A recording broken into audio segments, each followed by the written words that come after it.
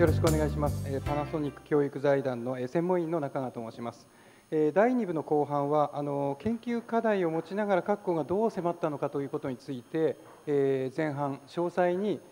ご発表あるいは解説をしていただきました。この後半は共通課題として、この4校、まあ、特別研究指定校は定着、普及、そして連携という、まあ、タスクを背負っていますので、えーその点についてどういうふうにえ迫っていったのかということについて、え少しお話をえ聞いていきたいと思います。それでまず一つ目は、え校内ですね。校内でえどのように定着あるいは普及を図っていったのか、え例えば先ほどの話もありましたように、え活用の日常化であったりあるいは、え少数の教員から全体に広げていくと。いうようなその方策がいろいろと見られるのではないかと思います。えそこで早速、えーそれぞれどのようにえー進めてきたのかということについてえーお話を聞いていきたいと思っています。えー発表順ということでまずあの山下小の八口先生からえー山下小でのその校内の定着普及よろしくお願いします。はい、えーそれでよろしくお願いいたします。えー本校では3つあります。えーまず1点目がですね、先ほどありましたように公開研究会も控えてですけども、年間1人の教員が3本の研究事業を行います。まあトータルして50本になりますが、実際ここには市の教育センター、えーそれから県の教育センターも含めて指導主事の先生方のご指導もいただきながら ICT 活用が本当に良かったのかそういったところまで追求した研究事業を進めていく。このことによって先生方の授業力の向上そして、えー子どもたちへの基礎学力の定着というところに目を向けております。2つ目が先ほど少しお話ししましたが ICG、え ICT コンサルティンググループという形で各学年また教科の中に、え情報教育の担当を1人置くと、まあ、この、え担当者が事業の方向性、え事業を構築する中での方向性を見出したりただしこの中にはやはり学習の狙い教科の目標を明確にしながら、え事業を作っていくということを根底に置きます。また、え機器の整備であったりそういった点についてもこの ICG が活躍しているところです。3つ目が子どもたちです、えー実際電子黒板係というものを位置づけまして、えー節電の部分でも、えー終わった時には消す。実際には朝来たらまずつけます。これは朝の会で1分間スピーチであったりあるいはえー今月の歌を一緒に歌ったりするために活用しております。このことによって子どもたちが身近に使うまた教師の方もどの時間でもどの場面でもいつでも ICT 機器を使えるという状況を作っている。これがえー校内での普及定着の部分です。以上です。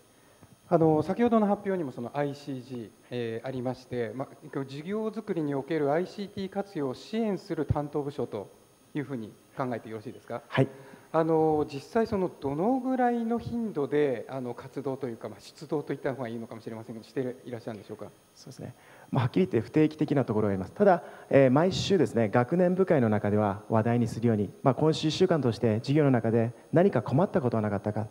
あのこんな使い方をしたよというような紹介をその ICT が、えー ICG が中心になってその学年会の中でリードを取る。また各教科の班の中でも、えー授業の中での使い方本当にこれで良かったのかなと問いかけるような形で、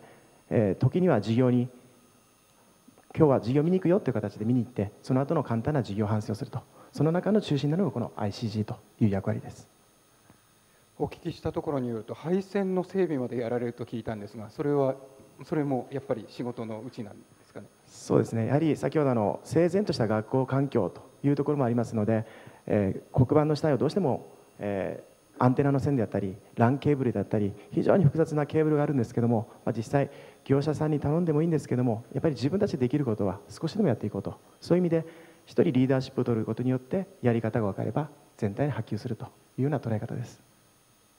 もう一つその子どもの係としての電子黒板係ですかね。これどのようにまあ機能してるって言ったらあの変な言い方なんですがでしょうか？はい、えー先ほど少し触れるのが足りなかったんですが朝来たらまずつける。あの特に低学年の場合には喜んで自分は電子黒板の仮だと胸を張って頑張ってくれます。それともう一つあのお昼の時間なんで給食の後にデジタルコンテンツの中に歯磨きソングというのがあるんですけどもこれですね高学年ちょっとどうかなと思ったんですけどもそれを見ることによって一生懸命磨いてくれてる様子が非常に私も嬉しく思ってます。ですから子どもたち自身自分は ICT の係というよりもみんなのために何か役立つと。普通の黒板を消す係とかそういうような立場で頑張っているようです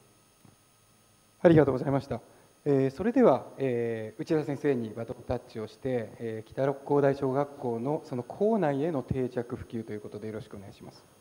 はい、失礼します。えっ、ー、と本校の方でどのように校内に広まっていたかと言いますと、まず本校のは先ほども説明にありました通り、まず環境が整備されていたということです。ですのでデジタル教科書というソフトはとても使いやすかったというのをまず普及のしていく第一の要因だったと思います。まずはじめにデジタル教科書っていうのは何だろうということで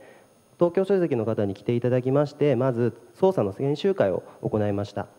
そちらの方の研修会を受けて教員の方がその後では触ってみようということでどんどんどんどんデジタル教科書の機能を触ってみて活用一覧表というものを作っていきました。でそれを使う時の手がかりとしまして、えー、必ず使う時には市内で派遣されています ICT サポーターさんの方に支援いただきまして ICT サポーターさんと一緒に支援をしてもらいながら授業の中で活用していくという方法を取りました。でまたあの支援していただいて、えー、授業のどのような取り組みをしたかというのを ICT サポーターとともにまとめていくということでなるべく先生方が負担のないようにということで校内の方に広めていくことをしました。その後授業研究を行ったりして多く広まっていたと考えています。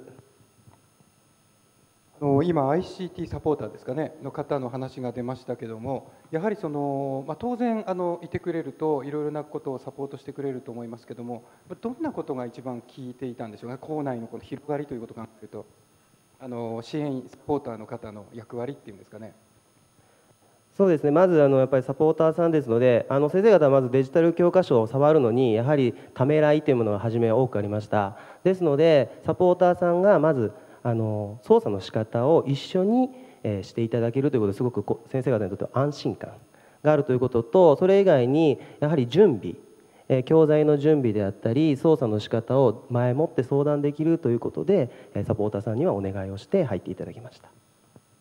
それからもう一つあの香港の特徴として先ほどのあのご発表を聞いているとオープンになってるんですかねあの、えー、形としてあの辺がどういうふうに例えば ICT 活用するときにこううまくこう機能していたでしょうかね。そうですねあの香港としては隣のクラスと本当につながっていますので隣の教室でしていることがすぐに覗きに行けるということであ今デジタル教科書使っているなと思ったら近くの先生方で見てで今どうやって使ったのということですぐにあの共有できたということがやっぱ広がっていた要因かなと考えられます。ありがとうございましたそれから先ほどあのアドバイザーのあの豊田先生の方から豊田先生のあの言葉を借りると逆年功序列というやり方ベテランの先生がまず使ってみるとその辺はこの校内の ICT 活用のこう広がりということにかなり効いていたんですかね。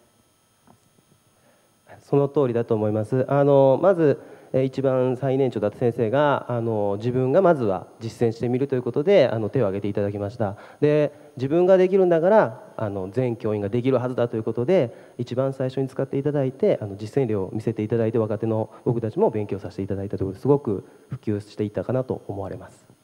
そうすると先ほどの話でいうとそのデジタルとアナログという話がありましたが、まあ、従来の黒板等を使うということの、まあ、技量とそこに ICT を載せるということをまず示してくださったということでしょうかね。そうです。あありがとうございました。はい、どうもありがとうございました。えー、それでは、えー、室子小学校の小林先生にバトンタッチをしたいと思います。どうぞよろしくお願いします。はい、えー、お願いします。えっ、と室子小学校では、えー、まず ICT っていうふうに言われたときになんか面倒くさい。それから、えー、なんかいろいろ特別なことをしないとダメなんじゃないっていうのが最初にありました。えそれで、え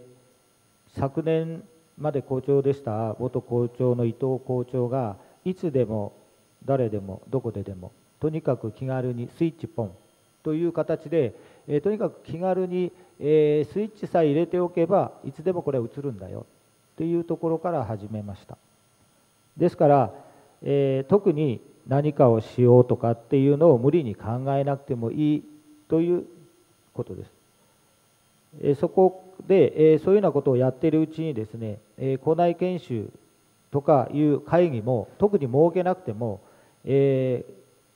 これどうやって移したとかっていうようなえ、簡単な会話が職員室で広がり始めてでこれどうやって使うの？これどうしたらいいの？この教科書のどこを写したらいい？とかっていうような形で、え、徐々に広まっていって、え、気軽に ICT をなんか定着していったっていう形です。ですから今うちの学校では ICT がない学級は非常に困ったというような形で私が特によく呼ばれて直してとかこれしてとかっていうふうに言われてしまって時間中にでも子供が来て直してねって言いに来るんですそういうふうにして自然に各どの学級でもどの先生でも新しく来た先生でも使ってます。あのいつでも誰でもどこで出ますかね。あの非常にあの、えー、シンプルであのいい言葉だと思うんですけども。先ほどあのお話があったその自然に始まる研修会と言っていいんでしょうかね。あの内容少しご紹介ありましたけど例えば他にどういうことでその自然に、まあ、研修会と言っていいのかどうか分かりませんけども、えー、どんなことがその相談内容あるいはインフォーマルな研修会で行われるんでしょうか？はいえー、っとまずですね、職員室等で話し合うときには自然に始まるんですが、廊下等で会うと、えー、よく、えー、例えば校長が、え、廊下歩いていたりすると、それを引き止めて、え今日の授業の時校長、前通りましたよね、今日私、写したのどうですかっていうのが始まっていると、前に周りにいた先生が自然にちらっと聞いてみたり、職員室でだと一つの輪になって、そのことについて話が始まっていつの間にか2 3 0分経っちゃうと。い うあれ？研究会？っていう感じになっちゃうんです。はい以上です。ありがとうございました。そのインフォーマルなところってすごく重要かなというふうに思いました、えー、それでは小学校小学校小学校ときたんですが高等学校の様子を小島先生にお話をいただきたいと思います。えーとまあ、先ほどのあの成果報告でも発表させていただいたんですけれども、まあ、本校はあの機器だけはあの揃っておりまして、えこれをまあどう使うかということが非常に課題だったんですけども、まあ、それまであの ICT 活用に長けていた教員っていうのは保健体科の教員がほとんどで、まあ、保健体科の教員はもうどんどん ICT 使って授業してたっていう保険の授業あったので生徒にもどんどん発表させたということがあったんですけれども、えー、せっかくの,、まあ、あのこの機器を使わないのもったいないし、まあ、あの正直あのこのパナソニック教育財団の、えー、研究指定校のあのお話は教育委員会からいただきまして、え先生のとここんな機器揃ってるからどうですかっていうことで、まあ、ちょっと申し訳ないんですけど助成金欲しさに、えー、あの申し込んだっていうのがありましておかげでまあだいぶ進んだんですけれども、まあ、その中で、え何としても2年間では何かちょっとしなあかんなということがありまして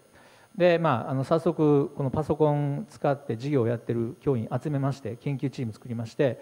えー、まずま先生方から実践始めましょうということで、えー、その研究チームの教員がまあどんどんあの実践例を展開するということでえここには、まあ、あの数学とか社会とか理科とかえそういう教員が来たんですけれどもあなかなか国語科はあのこの話に乗ってくれなかったんです。で国語科はなぜかというともうチョーク一本で勝負している教科でしたので、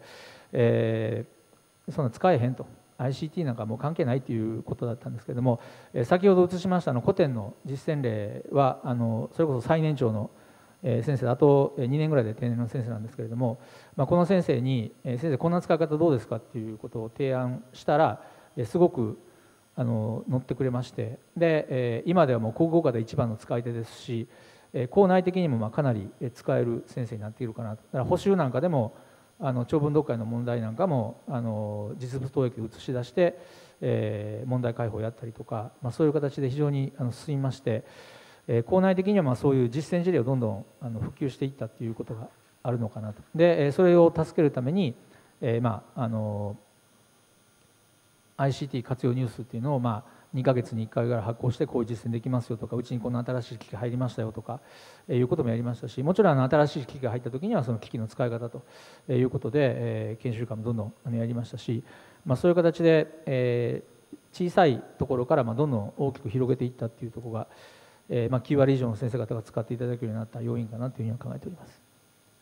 あの全教室にねそういうあの PC やプロジェクターがあるっていうやっぱ教科担任制である中高ではすごく大きなことだなと思うっていうこととプラスアルファでその活用ニュースですかね。あのこれ小島先生が出されてるんですか？はい、あの私が、えー、一応先ほど、えー、あのお話にも、え、あったと思うんですけれどもあの管理職のリーダーシップということで私これでも一応副校長やってるんですけども、えー、財団へのあの申請書とかも全部自分であの書いて、まあ、あの校長とかいろんな先生にアドバイス求めながらやったんですけども、えー、ICT 活用ニュースもあの全部作りましたし、まあ、とにかくあの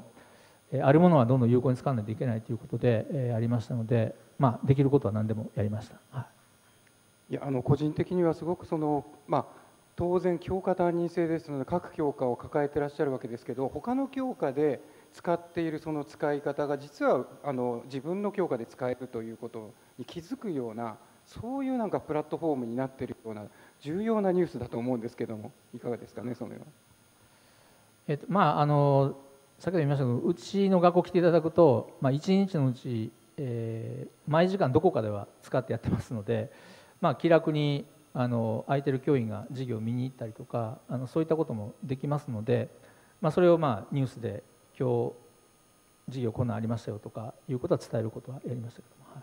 どうもありがとうございました。えー、ここまで校内のその定着普及ということで、まあ、あの4社4用といいますかいろいろやっぱりその状況によって、えー、打たれている手が違うなということは思いましたけども一方、えー、定着普及連携ですのでじゃあ今度はその学校外との連携ということを例えば、えー、成果の公開だったりあるいは他校や教育委員会との連携だったり地域との関わりあると思うんです、えー、先ほどのあの木原先生の、えー、まとめの中の言葉をちょっとお借りしまして、え学校と学校外組織とのネットワークの構築、まあ、ここに関するあの方策を、えこれからお聞きしていきたいと思うんですがマイクは小島先生のところにありますね。そしたら今度逆回りしましょうか。えー、じゃあ小島先生からよろしくお願いします。ちょっと油断してたと思いますが。そうですね、油断してました。えー、まああのなかなか高校現場にいますと、あの小学校中学校の先生方がどうやって ICT 活用されてるかっていうのは、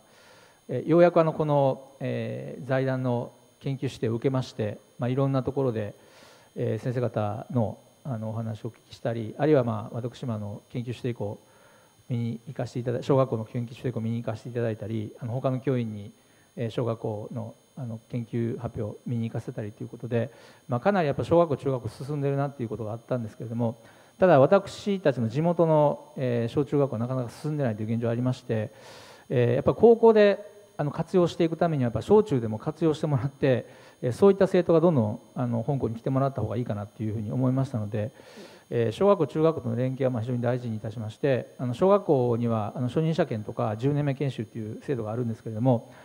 そういう該当のあのある先生がいたらぜひうちにあの ICT 活動の研研修に来させてくださいということをあの連絡をして、まあ、何校か来てもらったりとか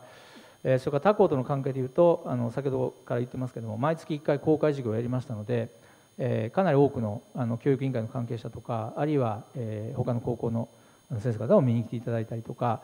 他府県からもたくさんあの視察に来ていただいたりとかいうことで広がったかなというふうに思っております。まあ、それとあのやっぱり我々が持っているノウハウをやっぱどんどんあの地域に出していかないといけないということで中学校にも出前授業に行きましたしあるいは先ほどやりましたけどあの生徒たちがあの作った、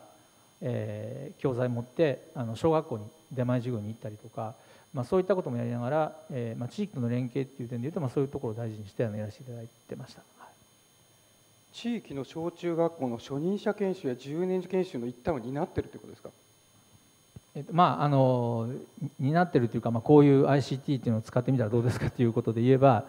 あの ICT を使ったらどういうメリットがあるかとか課題は何かとかそういったものを掴んでいただいて、まあ、ぜひその小学校でやっていただけたらということで、まあ、研修の一環としてはあの非常に貴重な部分かなと思っています。ありがとうございました、えー、それでは小林先生いかがでしょうか？はいえー、っと私のところも、えー、公開事業をしまして、えー、市の小学校それから教育委員会に、えー、参観していただいていました。それで、えー、授業の感想等も、えー、市内の小学校の先生方に書いていただいて機会あるごとに、えー、教育委員会の方に、えお伝えしてでそのうちにあの教育委員会の方が、え、主導権を握ったといいますか指導していただきながら、うちの教育の状態を皆さんに知らせてくださったと、まあ、そういうふうなおかげをもちまして25今年来年をめどにまた新しい ICT の設備が全校全市内の小中学校に全て整うという形になっていく状態です。以上です。これあの公開したものを参観の方からの感想を教育委員会に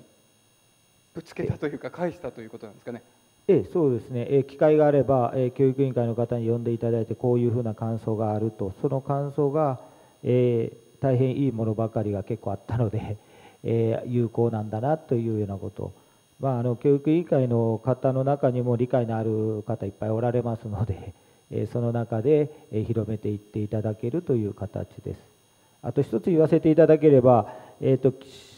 えーと、県の、教育研究所の方にもからもなんかあの講座依頼で研修依頼というのが来ましてそこの中心の講師をうちの教員が、えー、務めまして、えー、こういうふうにやってるんだよっていう広めたっていう形もあります。もう完全に室子小学校起点になってこういろいろな広がりがもう見えてきているということですね。はい、ICT の整備等でも。だといいんですがね。はい、ありがとうございます。はい、それではえっ、ー、と内田先生いかがでしょうか。はいえーと、本校の方なんですけども本校の方西宮市のまず研究指定の方を、えー、指定していただいていただきますしあと情報モデル校として昨年度も指定していただいています。まず市教委からのバックアップというものは多大にあるかなと思うんですけども、まあ、学校外とのネットワークということですので他にも、えーと、公開授業の方を行ってなるべく外へ、えー、本校の取り組みを発信しているとともに、まあ、視察の受け入れということでえー、北海道や愛知の方からの視察を受け入れたりまたあの保護者の方にもさあの説明にもありましたように参観授業の方でデジタル教科書の活用を取り組んでいくことで保護者の方にもアピールしていたりあと地域の方ではあの学校教育連携教育会というのがありましてそちらの方で地域の方の方にも香港デジタル教科書の取り組みについてアピールさせてしていっています。でその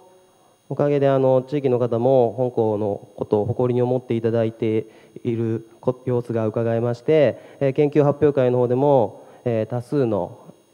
え助言や助力をしていただきまして校舎の方も、え昆虫舎というものを修復していただいたりとか他にも、え地域の方から、まデジカメを寄贈していただいたりなどということもあります。で研究発表会の方の取り組みを、え市教委の方も評価していただきまして、えー、今年の5月には西宮市内の小中学校60校あるんですけれども全てにデジタル教科書の方を配備していただけたということになってます。で今は、えーと、一応北地区5校での方でネットワークを広げていこうというふうで取り組んでいるところです。以上です。ありがとうございました。あの一つはその ICT の活用の状況を保護者にまず示す。それからその地域に示す。でそれが逆にそういう形で、え教育委員会等々のその認知され、え整備の方にも広がっていくというあのご発言がも続いて非常にこう起点になって広がっているなという様子がよく分かりました今はその、え5個に取り組みということでこの後はじゃあもっと広げていくということなんですかね。そうですねあの市内の方全小中学校にデジタル教科書も入りましたので、まあ、本校でパナソニック教育財団さんの方で、えー、させていただいたこのデジタル教科書の取り組みを西宮市内の方に広げていきたいなと考えています。はいありがとうございました。えー、それでは橋橋口先生ですねよろしくお願いします。えー、本校では2つあります。えー、一番大きいのはパナソニック教育財団のまあ広報的な部分がありまして、えー、公開研究会で多くの方々をに参加していただいて示唆をいただいたということ。それから先ほどもそれぞれの学校ありましたが多くの県外の学校からの視察をいただきます。この視察によってまた先生方授業を提供すると。その中で先生方の技量もまた上がっていくと、まあ、そういった意味では相乗効果なのかなと思っているところです。それともう一点もうちょっと大きなテーマになりますが本校の公開の時に企業ブースを設けています、まあ、企業会社さんのブース。これは本校で活用している ICT の会社さんに、えーまあ、どうですか？という案内をしてい、えー、くことによってその、えー、会社の、まあ、PR、えー、こんな教材があるこんなソフトがあるこんな ICT があるよということを提供されるんですけどもそれだけでなくて、まあ、本校がこういった実践をやっているというモデル校ということで、まあ、デモ機の借用を受けたりしてそれを使ってまた私どもも実践をする。その実践記録をまた企業さんも活用していただくという意味では非常に相乗効果があるのかなと思っております。昨年度7つの企業会社さんに来ていただいたんですけども時間がなかなか短いんですけどもそれでもそれぞれの先生方また企業の方の反応もよろしかったです。以上です。先ほど地域の連携という話をしました。企業との連携ということも視野に入れて取り組んでいるということですね。先ほどあのこれも木原先生のあのまとめの中に、えー、特別研究指定校はまたあの市内の指定だとかいろいろなそのものをえさらにこう受けながら人ものことを充実させてるという話がありましたがまさにそうそういうことを取り組んでいらっしゃるというふうな理解でよろしいですね。はいどうもありがとうございました。あの非常にちょっとあの限られた時間の中で、えー、まああのえー、明瞭にあのコメントしていただいてきていましたでもうあの、えー、終了の時間近づいていますので最後にですねあの特別研究指定校の女性は、えー、終了したわけですけども今、えー、どういうところの、まあ、見通しを持っていらっしゃるのかこの後どうされようとしているのか、まあ、その辺についてですねえー、まあ、定着普及連携に関する次の一手、まあ、この辺についてお話をいただいて、えー、終了したいと思います。それではマイクをお持ちの、えー、はい、橋口先生からお願いします。はい、えー、これまで、えー、ICT 機器の充実それから教師の活用というところで非常に高まってきております、え、次なる課題はやはり子どもたちの情報活用能力の育成ではないかというふうに考えております。え子どもたちが使える実際の中では教科あるいは学年の発達の段階に応じて狙いや目標をしっかりと達成することは当然ですのでそこはもとより子どもたちがこの授業でこんな発表の時に使いたいなとこんな時にこんな交流の活動でこういった ICT を使いたいとそういったところを幅を広く持てるような事業の構築が大事ではないかなと思っております。以上です。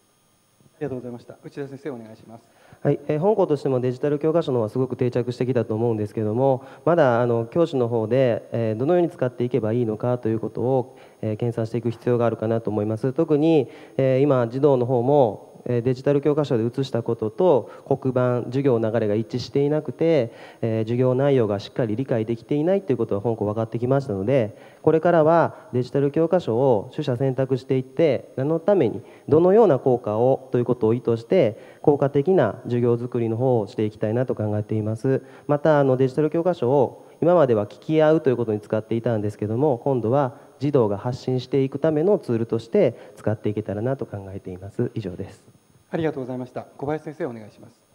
はい。えー、っと私の方では、えー、っとまず、えー、っと教師側としてはいかに児童に、えどれだけ理解を深めていくかそれを短時間で終えながらえー、児童が自主的、自発的に学習に取り組んでいくという時間を保障してやるかということです。そのために ICT をどのようにして使っていけばそれが保障されるのか将来的に児童ができれば授業の中身を構成して自発的に学習していくという児童像を描いております。以上です。はいありがとうございました。それでは最後に小島先生お願いします。えー、と先ほどのまあ発表でも、えー、と申し上げましたけれどもあのやはり高校現場でなかなか ICT 活用進まない要因の一つにやっぱり学力との相関関係が非常に明確化じゃないということもありますのであの発展的なやっぱり学力をつけるために、えー、どう ICT を使えばいいのかということをあのさらに研究進めたいと思いますしまたまこれまであのたくさんの実践事例は作ってきたんですけれども、えー、よくまあこれはあの黒上先生からも言われたんですけれどもやっぱデジタルとアナログの融合ということをもっとあの考えてやらないといけないということもありましたので、えー、効果的に使うためにどうしたらいいかという実践事例もあのどんどん研究を進めていきたいなというふうには考えております。以上でございますはい、どうもありがとうございました。非常に限られた時間でしたけども、あのそれぞれの学校のポイントを話していただきました。まあ、あのお聞きのように、この財団の特別指定からその人物ことを充実させていった。特にあのやっぱりあのアドバイザーの方々がこう2年間関わってこられたというのがすごく大きなことなんだろうなというふうに思いますが。あの学校から発信公開をし、まあ、そこから返ってくるもの得られるものをまた校内で醸成していく。その相乗効果が、まあ、こういった形で表れてるんじゃないかなというふうに思います。また今日は、えー、これから、えー、今後成果をえー公開発表される特別指定の学校の方々来られていると思います。またぜひ、えーこの場でこの定着普及連携に関する、えーご自身の学校の、えー取り組みについて、えーまた紹介していただければというふうに思っています。最後に4校の、まあ、発表もパネルあのパネルもですが